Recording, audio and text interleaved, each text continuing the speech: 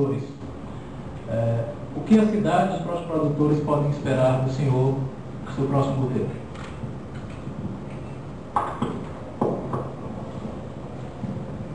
Os tabuleiros litorâneos era um projeto de irrigação é, importante é, que estava abandonado, né? estava numa obra parada aí, foi retomado com o Wellington Dias e com o Lula,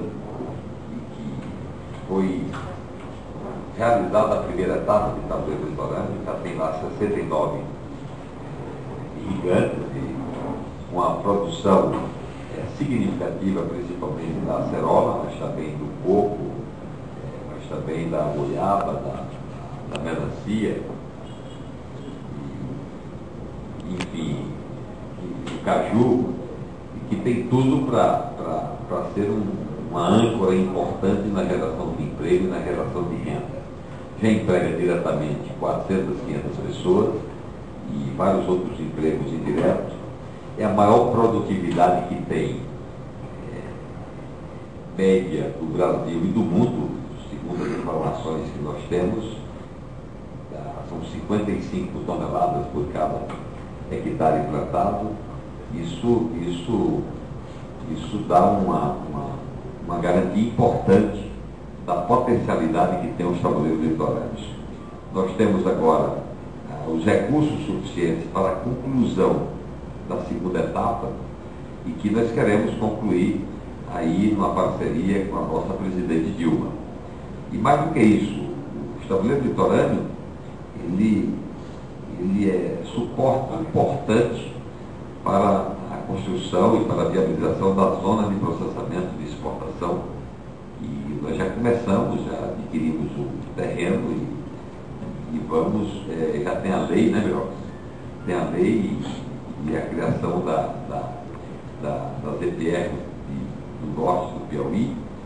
Enfim, é, o Estado litorâneo é prioridade importante do nosso governo, porque é, gera emprego, gera renda e, e sobretudo, crescimento.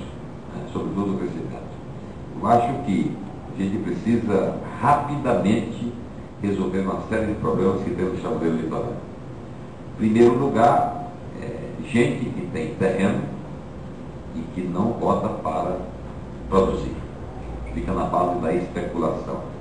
E confesso que essa vai ser uma das primeiras medidas do meu governo, junto ao Departamento Nacional de Obras contra as secas e, e aqueles que não quiserem é, ocupar e, e abrir e produzir, nós vamos encontrar uma fórmula de estar abrindo um novo leilão e oferecer para quem para quem está desejando é, é, produzir o chão eleitoral.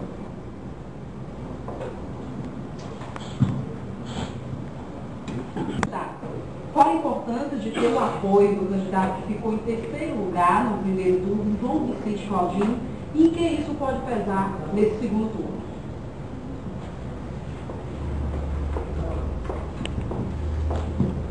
Olha, o João Vicente Claudino, ele foi eleito senador da República com o nosso voto, né, com o voto do nosso partido e com o voto é, da nossa coligação. No mesmo palanque, enquanto eu fui eleito vice-governador do governador Wellington, nós contribuímos para a eleição do senador João Vicente Claudino para o Senado Federal. E, portanto, ele foi parte do nosso projeto até o mês de março, mês de abril do ano de 2010. Por uma decisão partidária, optou por ser também candidato a governador é, do estado do Piauí. Não chegou ao segundo turno. E o partido resolveu, por ampla maioria, por mais de 90% é, do seu partido, e o apoiamento seria feito ao candidato Wilson Martins. Isso o que, que significa? Significa que nós estamos reorganizando o time, reorganizando grupamento de partidos políticos e que tem para dar aí continuidade a essa mudança, esse projeto importante de desenvolvimento do Piauí. o que vale não é só o resultado.